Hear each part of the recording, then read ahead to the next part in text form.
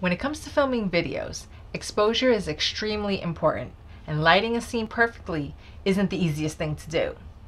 The waveform monitor is useful when you need to know how bright your subject or shot is without guessing, especially if you're filming outside and are unable to see your camera's monitor well. This is what a waveform looks like, and it may be difficult to read if you're looking at this for the first time. In this video, I'm going to show you how to read the waveform monitor on a Ninja V. So let's get into it.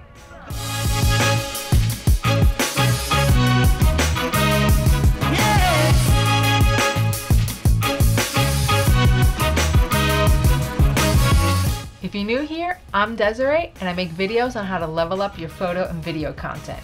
So hit the subscribe button if you're into that. The waveform monitor measures the brightness of an image.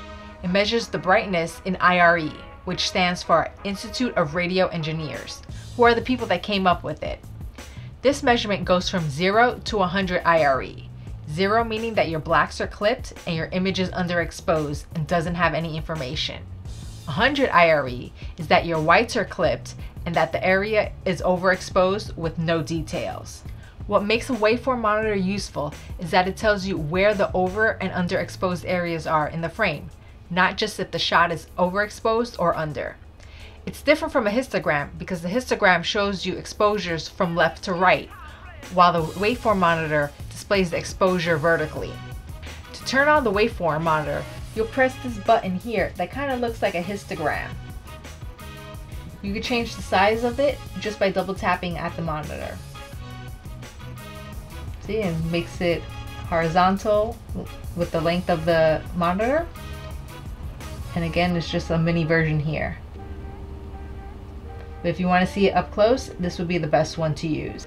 On the left side, you'll see that the scale goes from 0 to 100 IRE. The waveform is providing you with information in the horizontal and vertical axis. The horizontal, or the x-axis, gives you a visual reference of where the exposure is in your shot in real time, from left to right. The left side, middle, and right side of the waveform monitor corresponds to the left, middle, and right side of your shot. So when I move my hand, you can see that it moves on the monitor as well, telling you where exactly in the frame the exposure is, which you can't get on a histogram. The vertical axis, or the y-axis, is telling you how bright or dark the areas in the image are from top to bottom. At the very top is 100 IRE, where whites are clipped, and on the bottom is 0 IRE, where the blacks are clipped. You don't want the waveform monitor to pass the 0 or 100 levels. You want to keep the exposure in your shot somewhere between 0 and 100. So you can see right here, it is clipping at 100 IRE. It's actually surpassing it.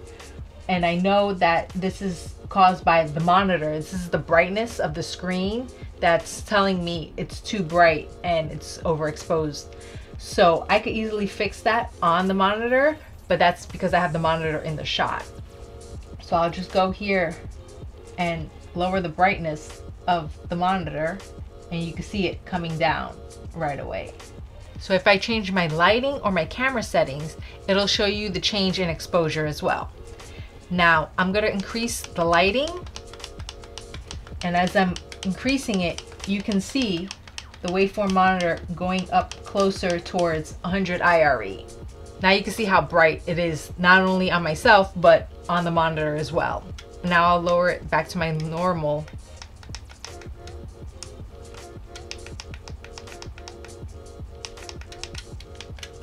and it goes back down. And if I even lower it more, you can see the waveform monitor going down as well. So it tells you in real time exactly how bright it is. Now we'll go back to the normal light. Now when I change the ISO on my camera, you can see as I lower it, the waveform goes down. And when I bring it back up, to the ISO I had it on, it goes up in real time. And I'll even keep going and increasing it. And you can see it's clipped, it's way overexposed. So let me bring it back down.